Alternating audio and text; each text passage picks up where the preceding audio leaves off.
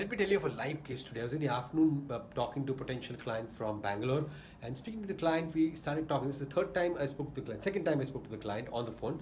And today we had an even more detailed conversation. And in the conversation, what happened is a couple of things. You know, what, what I realized is when we started the call for the two calls, the client wasn't able to express what the problem was, number one. Or maybe he was able to express, we were not able to figure out the challenge kya hai. Today we cracked the problem, saying this is the precise problem figured out.